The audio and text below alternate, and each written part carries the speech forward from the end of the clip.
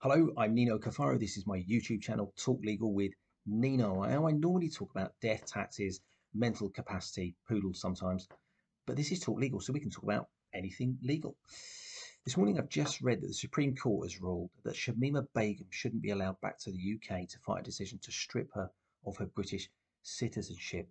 Bangladesh previously said they won't take her, so that leaves her effectively stateless. Now, most of you remember the Bulger case. Two killers in that case were 10 when they were tried for murder. Begum was 15 when she fled the UK. What do you think? Should she be left to her fate in the desert? Should she come back to the UK? Is she a security risk? Tell me what you think in the comments. This is Talk Legal with Nino. Hit the subscribe button for new videos every week.